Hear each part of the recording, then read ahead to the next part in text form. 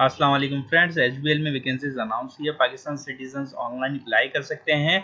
और बात करें इसकी एडवर्टाइजमेंट्स की तो ये एडवर्टाइजमेंट पोस्ट हुई है। 11 अगस्त 2022 को लोकेशन से पाकिस्तान पूरे पाकिस्तान से आप अप्लाई कर सकते हैं। और एजुकेशन की बात करें तो बैचलर मास्टर्स और लास्ट डेट है इसकी 25 अगस्त 2022 और बात करें इसकी वैकेंट पोजिशन की तो वैकेंट पोजिशन इसमें application architect data architect experts products designing b2b experience it audit managers uh, lead data migrations, regional head, credit administrations, senior project manager, HB, prestige, team leader designing and experience development, team leader P2P integrations and platform developments, unit head product